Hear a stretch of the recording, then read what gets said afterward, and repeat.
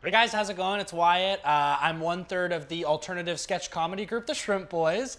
You might know us from some of our viral videos like uh, Hank Hill and George Bush fuck each other to death.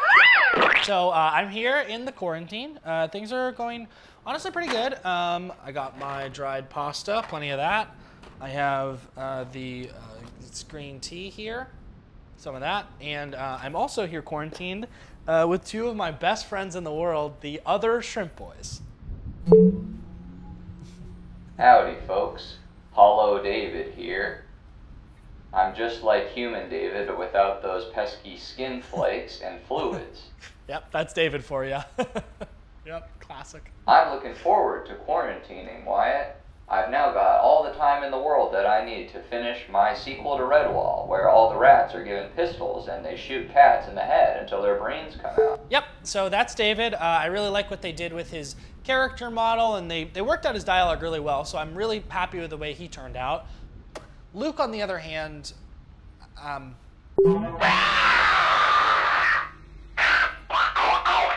uh, yeah, I, I, am not sure exactly what happened with Luke in the lab, but uh, I think something went a little bit awry.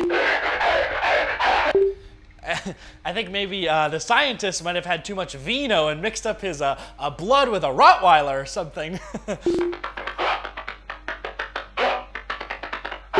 or maybe some kind of fraternity star. I'm not really sure, but regardless, I would love to get an expert in here quickly uh, to work out these problems. Well, dang, Wyatt, I didn't know that we could cut loose during quarantine.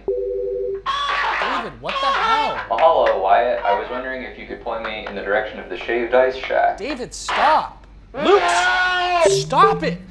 Right, okay, anyway, uh, it, it, please, I would love to meet a hologram expert to, co to come in here right now because I, I really don't know how to deal with these two.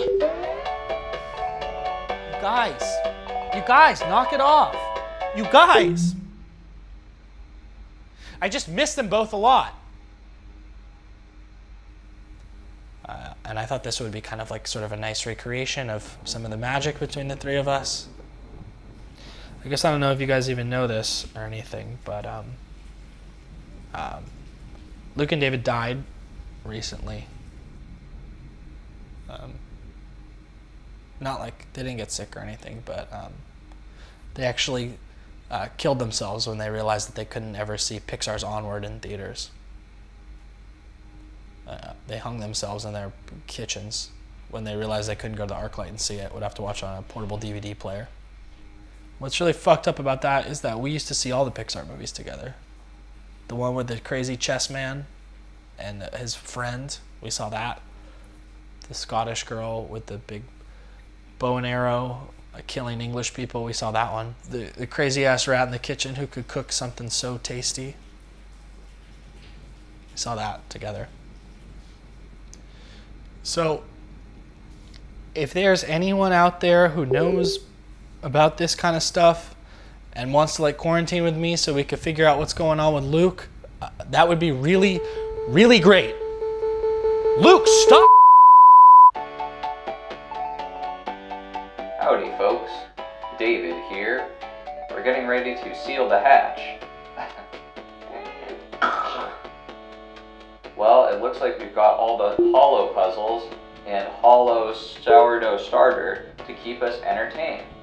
Luke is on his best behavior. And while Wyatt, he's getting adjusted to his new form.